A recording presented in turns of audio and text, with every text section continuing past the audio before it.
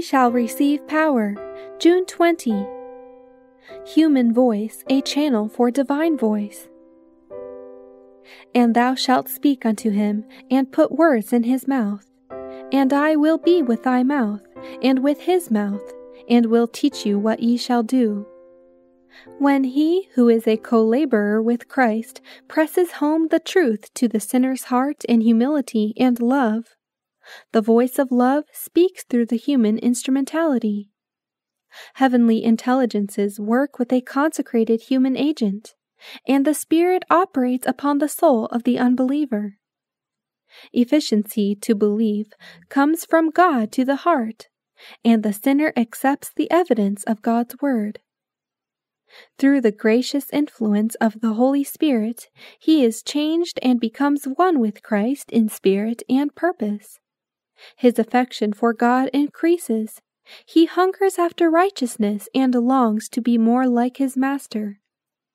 By beholding Christ, he is changed from glory to glory, from character to character, and becomes more and more like Jesus. He is imbued with love for Christ and filled with a deep, unresting love for perishing souls, and Christ is formed within, the hope of glory.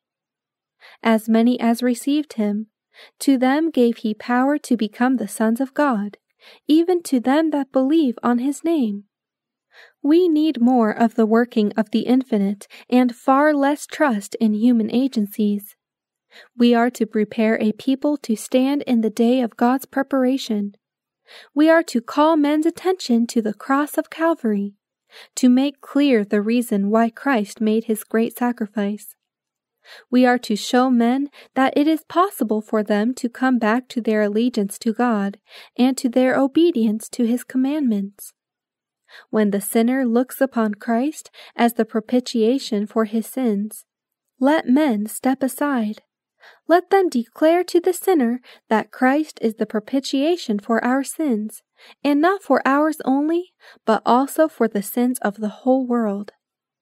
Encourage him to seek wisdom from God, for through earnest prayer he will learn the way of the Lord more perfectly than if instructed by some human counselor. He will see that it was the transgression of the law that caused the death of the Son of the infinite God and he will hate the sins that wounded Jesus. As he looks upon Christ as a compassionate, tender high priest, his heart will be preserved in contrition.